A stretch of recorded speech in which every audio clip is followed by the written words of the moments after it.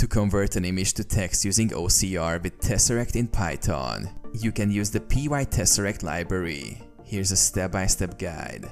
Install required packages. Ensure you have Tesseract installed on your system. You can download it from GitHub and follow the installation instructions for your operating system.